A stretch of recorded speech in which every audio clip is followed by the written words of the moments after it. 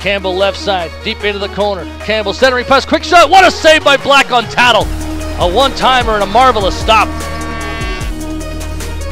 Here's Devlin from the left point. Wrist shot deflected wide of Cooper Black. Puck in behind. Express get it up front. They score! Tattle! 3 2. The Express have the lead for the first time with 3.09 left on the clock. Clippers just could not get that loose puck out of the way. A lot of it uh, going behind the net. Cooper Black going side to side. That could change right after this power play. Tyson Jugnauth scores! Pumping water bottles is Tyson Jugnauth on the power play. The Warriors have extended the lead. It's 4 to 1. To Ruben.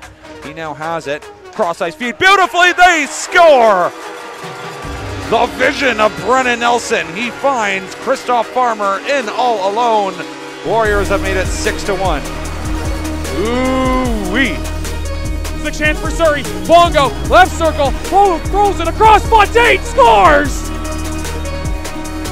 Ben Fontaine's got goals in back to back games, and the Eagles have a 2 0 lead, 16 10 remaining in the second period. Nick Burkett's got Lalonde in the middle of the lawn. Alone, Deke scores! Parker Lalonde to beauty, and the Kings are getting on the scoreboard. It's now a 2 1 Surrey lead. A great pass from Nick Burketta.